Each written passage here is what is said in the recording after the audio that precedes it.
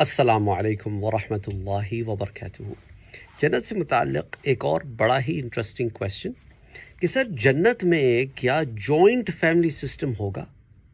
क्या हम सब एक घर में रहेंगे? आ, मैं इस चीज़ को पहले भी आपसे डिस्कस कर चुका हूँ लेकिन अगेन होता क्या है कि जब लोग प्लेलिस्ट में जाते हैं और आ, देख रहे होते हैं कि कौन कौन से एपिसोड्स के क्या क्या टाइटल हैं तो वो एग्जैक्टली स्पेसिफिकली अपने क्वेश्चन को भी ढूंढ रहे होते हैं। अब जन्नत की सीरीज़ में मैंने आपको ये बताया कि माँ बाप और औलाद, अगर ईमान वाले होंगे तो जन्नत में दाखिल कर दिए जाएँगे। और अल्लाह सुबहाना व ताली उन्हें एक दर्जे में कर देगा। और जिसका दर्जा सबसे आला और ऊँचा होगा, उसके दर्जे में सबको कर देगा। अल्लाह सुबहाना व ताली कुरान करीम की आयात से मैंने आपको कई दुरूस दिए हैं जन्नत सीरीज़ में। Again I not to repeat everything लेकिन आपको एक समराइज फॉर्म में बता रहा हूँ।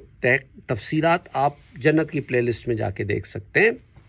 तो अल्लाह सुबहाना व ताली औलाद को माँ बाप को, अजवाज यानी मियाँ बीवी को सबको एक दर्जे में, और किसी के साथ नाइंसाफ़ी नहीं होगी, रहमत अल्लाह की ज़्यादा होगी किसी के साथ इन अ सेंस के अल्लाह की रहमत होगी कि आपको उसी दर्जे में कर दिया जाएगा, जो आप में से सबसे आला दर्जे का होगा।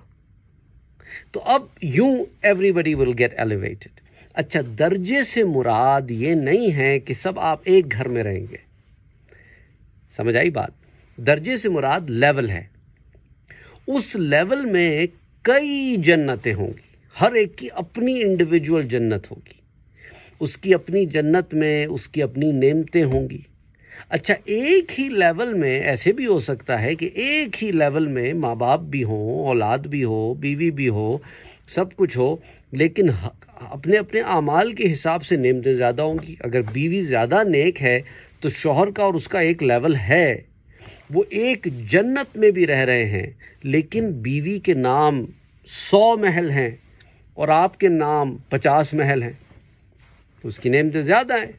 अच्छा बीवी के पास मिसाल के तौर पे चालीस बाग हैं, चांदी के, और आपके पास भी चालीस बाग हैं, लेकिन उनमें से आधे सोने के बाग हैं। बीवी के पास खादमाएँ हैं एक हज़ार, आपके पास खादिम है नौ सौ। फ़र्क हो सकता मैं एक एग्ज़ाम्पल बता रहा हूँ। बीवी के पास एक करोड़ दरख्त हैं, आपके पास पचास लाख दरख्त हैं।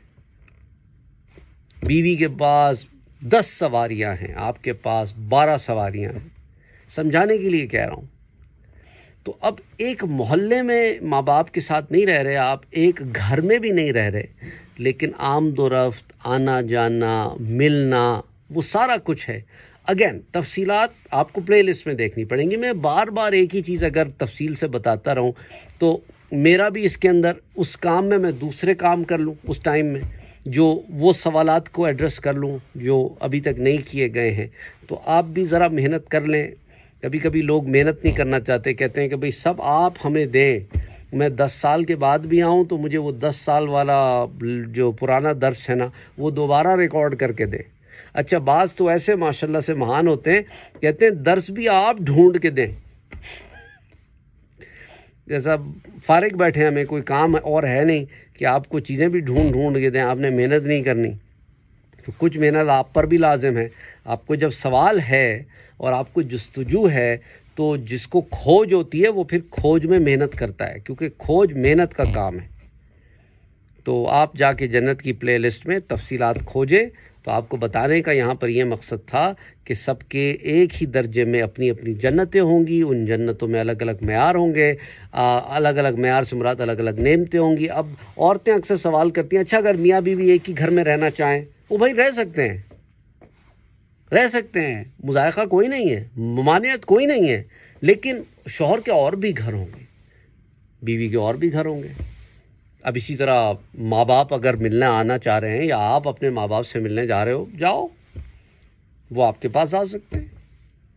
I mean it's just like दुनिया में भी इसी तरह होता है ना, शादी होने के बाद बेटी जाती है माँ बाप से मिलने के लिए। या देखे ना, बेटा भी जाता है अपने माँ बाप से मिलने के लिए। अब हर कोई तो जॉइंट फैमिली सिस्टम में नहीं रहता। तो अल्लाह सुबहाना वाली ने जन्नत में अपनी अपनी जन्नतें दी हैं सबको। इंडिपेंडेंस दी है और मिलना भी दिया है और मुलाकात के लिए मेहनत भी कोई नहीं है। तो इसीलिए आपसे बार बार मैं यही दरख्वास्त करता हूँ, रिक्वेस्ट करता हूँ कि आपने जाके जन्नत की प्लेलिस्ट स्टडी करनी है, सुनना है, समझना है, ताकि ये सारी बातें आपको तफसीलन समझ में आ जाएँ। तो उम्मीद करता हूँ कि आपको ये बात समझ में आ गई होगी। असलकम वालेकुम वर्का